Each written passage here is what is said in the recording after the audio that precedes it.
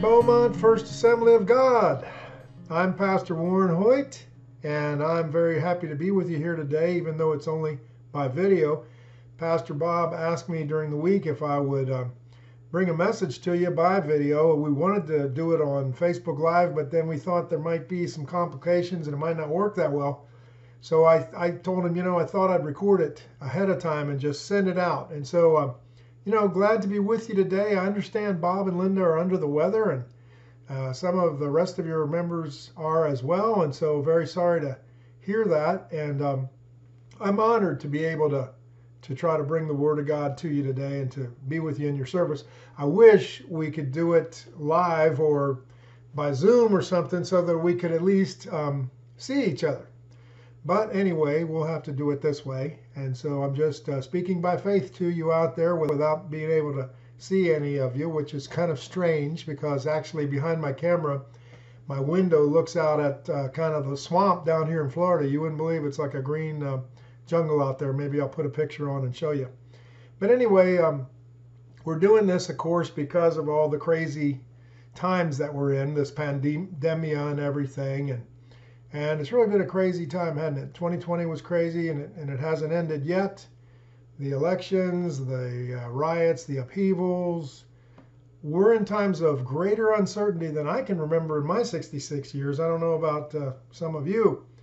And I'll be honest with you, um, many uh, times during this last year, I've felt rather discouraged about how our country's going. And I've been wrestling with God and praying and praying with my folks over here about uh, just exactly how we should uh, face these times and, and navigate through these times. How would God have us live? And um, uh, how would He have us witness as we're uh, going through all this kind of stuff? And, um, you know, like we can't even meet together. We have to meet through, you know, technology and stuff like that. And of course, there's some advantage to that, isn't there? Because churches have been more online than ever before in all of history. And I think overall, it's got to be something positive that probably uh, more pastors are preaching like this and maybe more messages are getting out. Maybe some folks are watching them who wouldn't normally come to church. I hope that's the case anyway. And so uh, I hope that um, the gospel's being spread abroad more now through all, through all this um, than ever, and um, you know I hope it has a positive effect. Um, in my own uh, experience here, uh, doing these things on on Facebook and on video and all, I've had actually people in. Uh, I have a missionary friend who's in Malaysia who watched one of my uh, videos, and I have people in California and other states. I live in Florida. So that's kind of exciting that we can do that. And of course, we know there's no distance with God, right? Uh, he's omnipresent, He's a spirit, so He's everywhere. And He's with each of us, wherever we may be.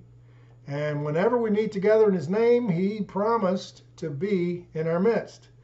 And so that's the wonderful good news that we have about our God. Now, I'd like to share with you some thoughts from God's Word this morning. And in the presentation, I'm going to be using three main scriptures, and I just want to mention them up front for you. I'm going to be looking at Haggai 2, verses 6 and 7, John 16, 33, and I'll end up with 1 Peter 3.15. And I'll just uh, mention them up front because when I get to them, I'm just going to uh, mention them uh, kind of quickly. So Haggai 2, 6 and 7, John 16, 33, and 1 Peter 3.15. Now, the Haggai verse says that in the last days God will surely shake the heavens and the earth so that everything that can be shaken will be shaken. And so I, I use that verse and, and uh, touch on that because surely we can all admit that this has been a time of shaking, right? It's really been a time of shaking, shaking of our whole nation, shaking of the whole world. And times of shaking, one thing I notice about them is that they make you sort of reevaluate where you're at. I suppose you would admit that with me. You would agree to that with me. Uh, it makes you wonder what's really important. What do I really believe? What am I really supposed to be about? And so, um, you know, Haggai 2, 6, and 7, there's been a whole lot of shaking going on, right? But the thing is, how are we supposed to interpret that and interpret life in general in these days? And what kind of guidance does the Bible give us regarding this kind of thing? You can hear all kinds of opinions about it. On the one hand, there are a lot of preachers who will just tell you, hey, don't worry, don't fear. Everything's going to turn out just fine. God won't let anything bad happen to us. And many people will quote uh, Psalm 91, for example. You know, uh, those who abide under the shadow of the Almighty will, you know, be delivered from no any pestilence or the arrow that flies by day and so forth. And uh, people will say you can claim these kind of promises as faith promises, and that'll sort of ward off any evil. So if you're a Christian, you, you don't need to worry because nothing bad can possibly happen to you. And so, you know, that's the kind of thing you expect from a pastor, right? I mean, tell the people good news, tell them things they want to hear. Um, but to me, it kind of comes across uh, like a platitude. Like, you know, when you hear that uh, a reporter says the Pope called today for world peace. Well, what would you expect the Pope to call for? World war? he calls for world peace. All right, that's nice. That's what you'd expect. But how real is it to call for world peace? Is there ever really going to be world peace? I mean, we're not for war, but be honest. Because some guy called for peace and said we should all get along, is that gonna is that gonna really work? Somewhere uh, near my house, I saw a church marquee that said Jesus gives hope and encouragement. And again, that's absolutely true, but doesn't it sound kind of like a platitude sometimes? It sounds nice, but it's kind of Pollyannish. Remember Pollyanna? There's a movie about Pollyanna and a book and on. The idea of Pollyanna is everything's wonderful. You know, you just look at the world through rose colored glasses. They're there. Everything's going to be fine.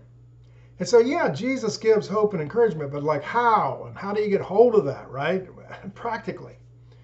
Platitudes sometimes. They're not that helpful because I always, I don't know, I'm sort of a questioning person and thinking kind of person. And so I'll say, you know, based on what? Like things are going to be fine based on what? Who says things are going to be fine? We all know that bad things can happen to so called good people, right?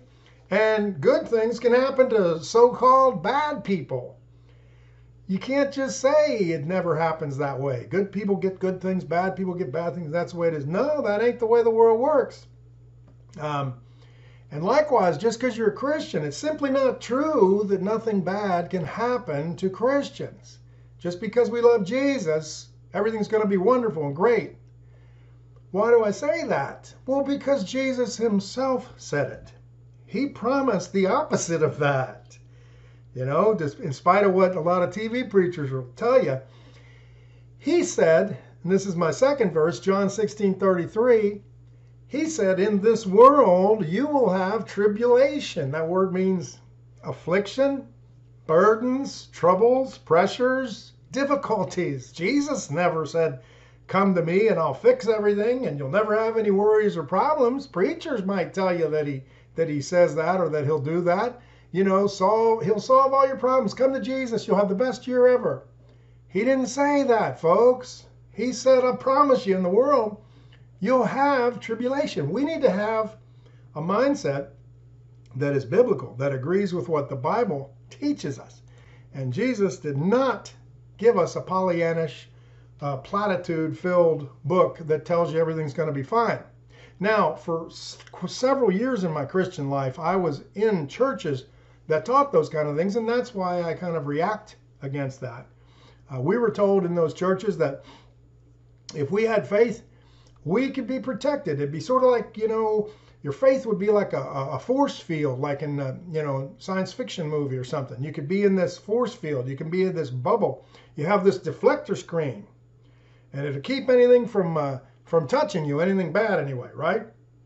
And in fact, we were even told that we were to exercise faith like a sort of a force. There's a force of faith, and if you use your faith the right way, it becomes a, a force field, a deflector screen, and It'll keep bad things away, and and uh, only if you fail to stand in faith will things ever possibly go wrong. Look, I don't want you to misunderstand me because I know it's easy to misunderstand. Um, I'm not saying you shouldn't pray for protection or believe God to protect you from harm and so forth. It's absolutely right to pray that and uh, to pray for guidance so that you know the Lord will help you miss the kind of the the landmines out there that you could step on. You know, guide me, Lord, so I don't do the wrong thing, so I don't go the wrong way, the wrong place. It's perfectly right and biblical to pray for healing when we get sick. In fact, it, you know, we're, we're told to do that. It's the, like the bread of life, you know. Give us this day our daily bread. Well, that includes healing and so forth when you're sick. it's right to pray for our needs to be met, whatever they may have. It's right to pray because Jesus said to do so. To be to, that we would not be led into difficult testing. Lead us not into temptation, right? And he even said in another place that during the time of tribulation, uh, we should pray that our flight wouldn't be in winter, so that uh, if we had to flee persecution, it wouldn't be in winter, so it wouldn't be too hard on us. Well, that see, it's all right to pray those kind of things.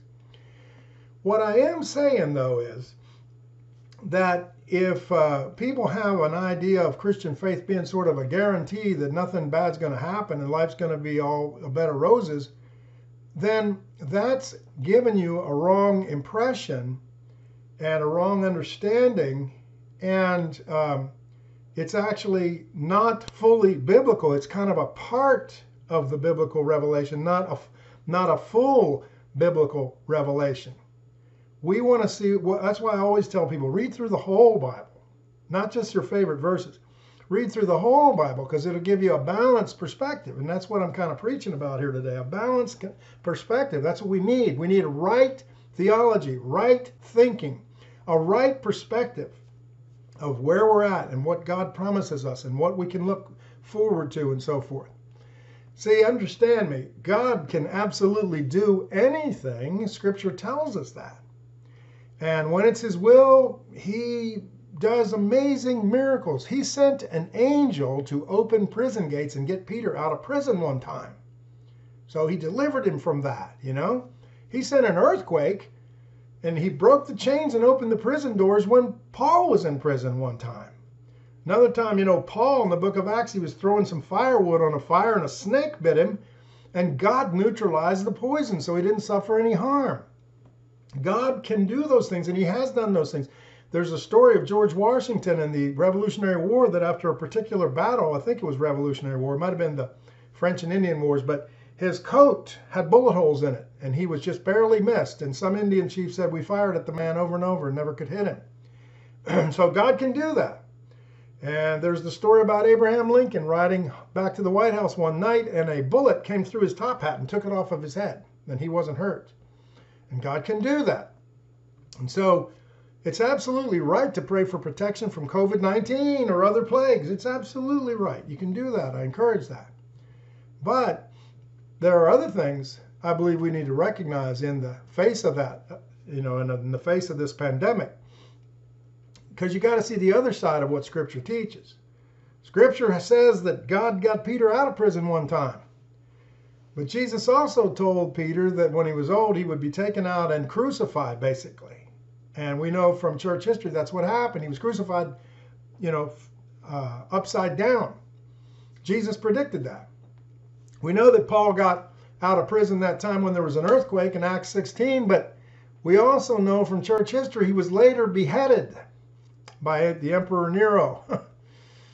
Washington eventually died. Abraham Lincoln was delivered from the bullet that one night, but later he was shot in the head and assassinated. Scripture has promises of blessing and protection, but also, look, guys, you got to read it all. Many believers, like Hebrews 11 tells us in the famous Hall of Faith, many believers were delivered miraculously, but others went through persecution and suffering and wandered about in sheepskins and goatskins and lived in mountains and, and caves and dens of the, of the earth and out in the desert and so forth. The history of the church is a history of supernatural deliverances, yeah, but also of persecution, of exile, of martyrdom. In the Psalms, we get a really basic, uh, a really balanced view of things. And that's why it's really good to read through the Psalms because they cover the range of human emotion and experience. You have wonderful psalms where surely goodness and mercy will, do, will follow me all the days of my life, and I'll dwell in the house of the Lord forever. Yet they're wonderful uh, expressions of thanksgiving for good times and all. But you also have lots of psalms that express grief and doubt and where the psalmist even complains to God and says, How long, O Lord? You know, are you going to leave me like this? And my tears have just watered my couch at night. You know, I've just been crying so much. And I cry out to you, and where are you? So that's why you need to read all of Scripture because you get a more balanced view. And that's what we need in times like these. We don't want to believe in Pollyannish platitudes or fairy tales. We want to know the truth. You know, I want the truth, like the movie says. You can't handle the truth. Yes, we can. We need the truth. The truth will set us free. The truth will help us to be stable and solid and, and hopeful and understand what we can look for. See? And so that's what I'm trying to get out here today. So in the verse I quoted from John 16, in the world you'll have tribulation, but be of good cheer. I have overcome the world. I want you to notice the context of that because um, what was the context? Well, it was in the upper room just before Jesus was arrested and put on trial and then crucified. So he himself, he himself spoke that verse, in the world you'll have tribulation, when he was facing the greatest trial of his life. Think about it. He was about to be betrayed by a close friend, Judas. He was going to be arrested, falsely accused, mistreated by Jewish religious authorities, beaten, slapped, spit upon, and mocked. He was going to be insulted and humiliated, and then scourged and crucified, tortured to death. Now, you say, yeah, but that was for our sins. He did all that for us. We don't have to go through that. Well, that's true. He did suffer all that in a redemptive way to provide for our salvation. That's absolutely true. But nevertheless, think about this. Jesus is also an example for us. We're to follow him, right? And he teaches us about all kinds of aspects of life. And so, there, when you see what Jesus went through, I want you to think about it this way this was a totally innocent and righteous man. He loved God perfectly, and he always obeyed God. He was the only truly and fully good human being that's ever lived. And yet, look how he was treated. Look what he went through. He prayed for the cup to pass from him, but the Father made it clear to him no, it's not going to be. You have to drink of this cup. And so I think that's something for us to think about that you can be a godly person, doing exactly what God wants you to do, and yet go through great difficulties. Jesus teaches that. And it was in that context, on that night, that he told his disciples they would have tribulation in the world too.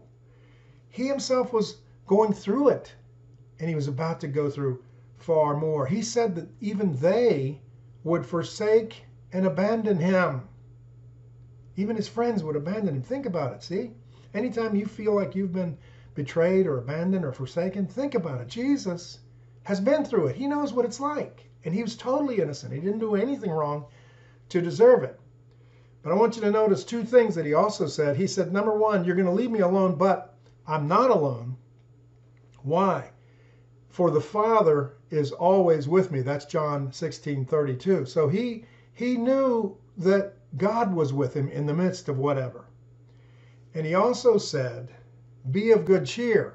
And the Amplified Bible says, Take courage, be confident, certain, undaunted.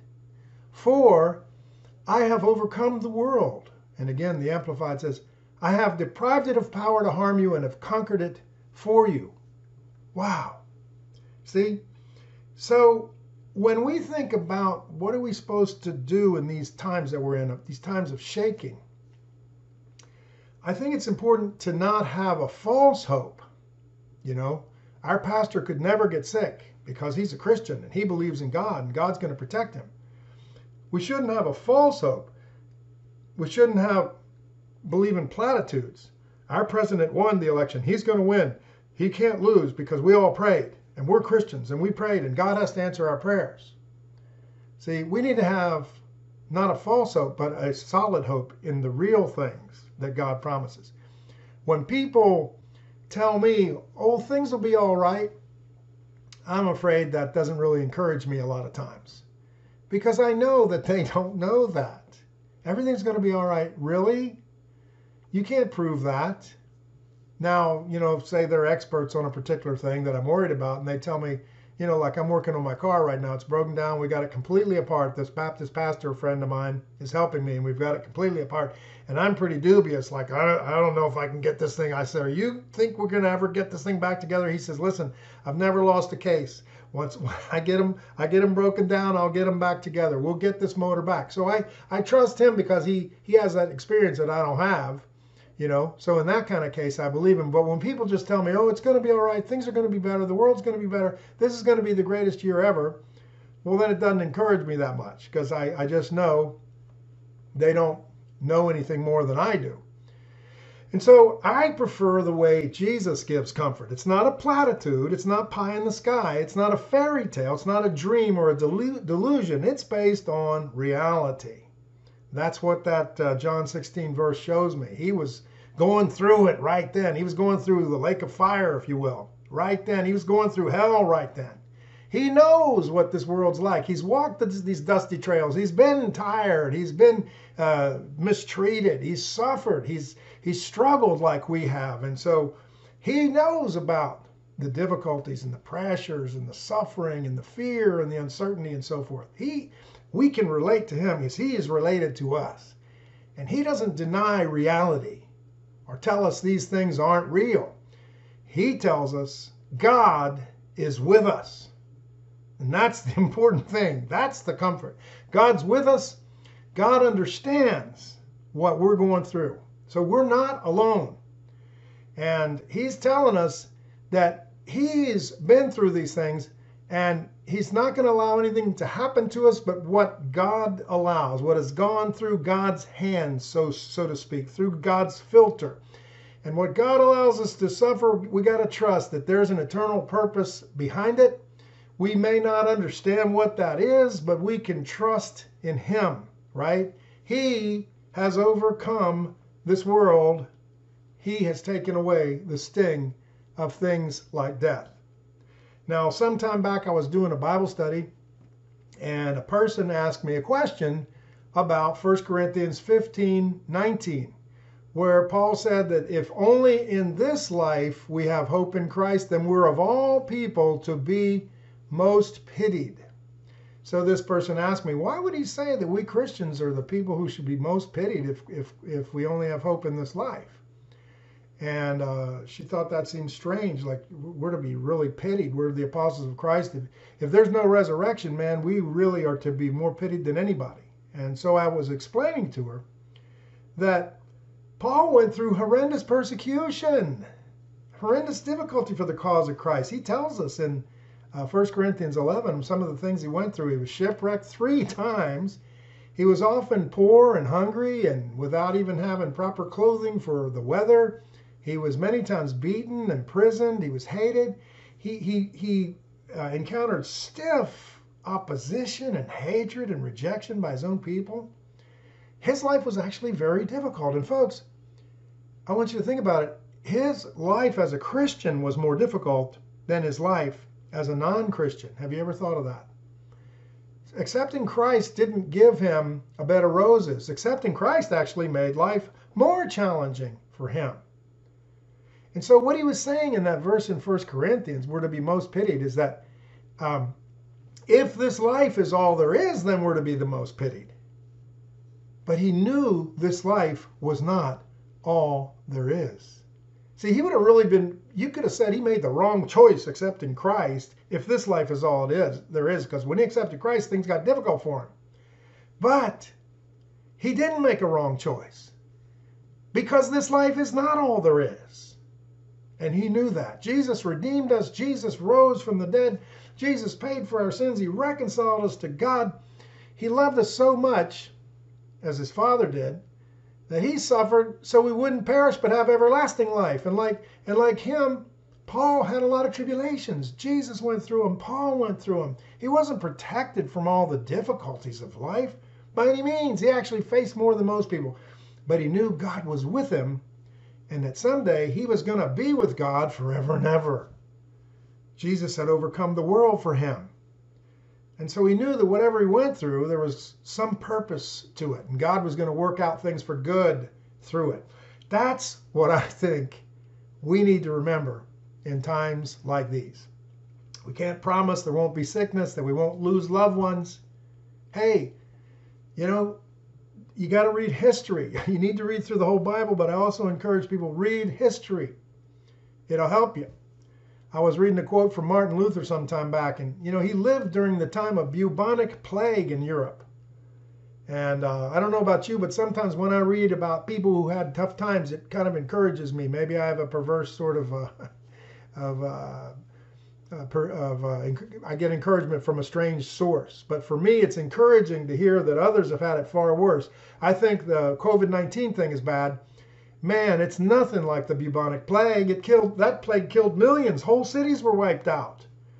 Did you know that 100,000 Franciscan monks died during it? And they were they died because they were serving people, trying to help the sick and, and the poor and so forth in Christ's name. 100,000 Franciscan monks, they died. Tell me God won't allow any trials or difficulties or sicknesses to come upon believers. Tell me about it. When you when when you read about the difficulties that others have gone through, there's been plagues before, folks. There's been wars before. Did you know the end of the world has come before? Yeah, we think this is the end of the world. These got to be the last days, right, Pastor? We're in the last days. Folks, the Bible says we've been in the last days since Jesus rose and went and ascended back to heaven. Did you know that? What do you think it was like to be in Jerusalem in 70 AD when the Romans crushed it? That was the end of the age in, G- in their minds, the end of the world. What do you think it was like in the 400s AD when Rome fell and many Christians were there and they, they were just overrun by these different barbaric hordes? What do you think it was like in 1453 when the Christian capital of the world, Constantinople, was taken by the Muslims? It was the end of the world. There's been lots of ends of the world, lots of plagues, lots of wars, lots of calamities, and Christians have gone through them. We need that understanding. But there's one more thing I want to mention and bring out that I believe that we need to remember in times like this. And that's this point. Times of crisis can serve a good purpose if we can just get our eyes opened to see it. What's that good purpose? Well, I'll tell you, look, times of crisis make us more aware of our own mortality and the fallenness of this world. You know that? Have you noticed that? They make you more aware of your own mortality. I just had a, my knee go out. For a month, I've been hobbling, and now it's slowly getting better. And it, boy, I realized how much I appreciate being able to walk, you know, because I lost it for a while. And I didn't realize what a what a benefit and a blessing it was to be able to walk till I couldn't walk. And so often in life we're just busy with all these frivolities and different, you know, superficial things and our and our phones and our computers and our business and this and that. We're just all occupied and happy go lucky and all. And a time of shaking like this, a time of crisis, all of a sudden wakes you up and, and tells you, hey, you know what? This world is fallen. It's not going to last forever. And, and we're not going to last forever. We're mortal. We're, we're, we're vulnerable. We're, fra- we're fragile. This world isn't heaven. It's not our home. We shouldn't get too comfortable here. James says that our life is but a vapor. And there's a hymn I like that says, We blossom and flourish like leaves on a tree, then we wither and perish, but naught changeth thee. So shaking makes you see how vulnerable you are and how transitory life is. And that's a good thing. It wakes us up. In Luke 13, which I read this morning, Jesus mentioned that uh, there were these different calamities that the people of his time were aware of. And he said, Do you think that those people went through the, that suffering and all because they were worse sinners than everybody else? He said, I'm telling you, no, they weren't. Those kind of things just happen in life. But he said, unless you repent, you'll all perish. Just, you know, because we're all perishing. So it's not just the victims of terrorism or COVID 19 who are perishing, we're all perishing. Evangelists always say we're in a dying world. This is a dying world. When I was younger, I used to think, why do they say that? A dying world. It's not dying. Well, yeah, it is. The older I get, the more I see it is. Yeah, it is. It's a dying world. We're all dying. We are born and we begin dying. And the older you get, the closer you realize death is. You know, you're coming close to the door there. And so the worldwide pandemic is evidence. Look, look, we all have a disease that's killing us. It's sin. And so if COVID gets you or not, you're still dying. The truth is that the world is already plagued with the worst disease of all, and we're separated from God and dying. And so this plague can make us more aware of that, more aware of our vulnerability and our fragility. It makes me uh, uh, aware of something I often say at funerals. I, you know, you'll see this on a plaque sometimes. It says, "Only one life, twill soon be past. Only what's done for Christ will last." And that's just so true. Another thing I often say at funerals that this pandemic reminds me of is we should all truly want to be alive, of, of course, right? We want to be alive. We don't want to be struck with the pandemic and die or something. We want to be alive. But I always tell people if you want to be truly alive, look at that word alive, A L I V E, as an acrostic. If you want to be truly alive, you need to always live in view of eternity. Always live in view of eternity. That makes you truly alive. And so we're facing crisis and terrible times. If you're a conservative like me, you probably feel depressed about the elections too and the direction the new administration's taken us. But I think even that can serve a useful purpose. You know, I've been thinking about it. It, it can get our eyes off of government or get, get our hopes off of government and get us more focused on God alone. God's our only hope, fo- folks. He's our hope. And so uh, please understand me as I wrap up. I'm not saying let's be uh, fatalists and just say, hey, God sent this virus, you know, or God has taken us in these bad directions that our government is leading us now. I'm not saying that. I'm not saying be passive and just let it happen and, you know, don't fight against it. I think we should fight against the sickness, get the, our vaccinations, whatever. And we should be praying for our country and our government and our society to not go the wrong way, but to go the right way. But I do believe that all these calamities can serve a purpose because God said He was going to shake heaven and earth. And I think that's what's happening, and it's meant to wake us up. God disciplines whole nations, not just individuals. He's shaking this world so that we might see our need of something unshakable, our need of God. And I'll tell you what, let's do. Let's be praying that God uses these things for exactly that, that, that people wake up. Let's pray for revival. That's what it means to awaken. Let's pray for revival. That God would open us open our eyes as Christians, that we would get our eyes off shaky, shakeable things, transient things, and look to the permanent thing. To get our eyes on the Lord, to learn how to stand in faith, to learn how to trust in Him, to look to Him to lead us, right? To do all we can to prepare ourselves, right? And here's my last verse that I want to end with. 1 Peter 3:15 in, in the midst of persecution and all, Peter said, Be ready always. He said, Sanctify Christ in your hearts, set him apart as Lord in your hearts, and be ready always to give an answer for the hope that's in you, and do it with gentleness and respect. And so he wrote that to them. He said, When you suffer and all, set apart Christ in your hearts as holy. Sanctify Christ in your hearts and be ready to give an answer. That's what we need to do. Focus on our relationship with God. Live for God. Live in deeper relationship. Let it let it drive you deeper in Christ. Let your roots go deep during the time of crisis and difficulty and all that. Spend more time in God's word and more time in prayer and more time focusing yourself on him so that you can be better prepared and ready to give an answer to the people of this world. They don't have any hope. We do. We go through the crisis just as they do, but we know this world is not our home. There's a better one coming we know God can use everything for good purpose. And so we have someone who's with us to strengthen and encourage us. I hope that that encourages you today and helps you to have a, maybe a, a little clearer perspective on things that we're going through in this time. Again, I want to thank Pastor Bob for inviting me to share with you.